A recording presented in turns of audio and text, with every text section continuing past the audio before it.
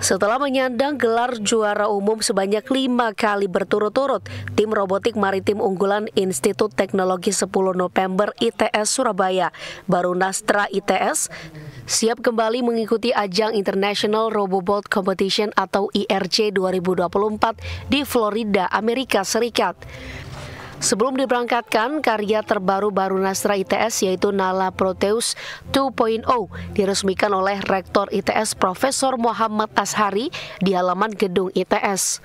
Kompetisi IRC 2024 nantinya akan berlangsung pada 5 hingga 11 Februari mendatang. Kapal tak berawak ini dirancang untuk target meraih juara dunia ke-6 kalinya di ajang bergengsi tersebut, serta dapat berperan aktif berinovasi menghadapi tantangan industri maritim. General Manager Barunastra ITS Fibra menjelaskan bahwa teknologi dari karya yang dikompetisikan harus bisa menyelesaikan tantangan atau misi yang ditentukan. Sebagai langkah persiapan menghadapi ajang IRC 2024, tim baru Nastra ITS telah berulang kali melakukan serangkaian percobaan dan peningkatan kinerja pada kapal.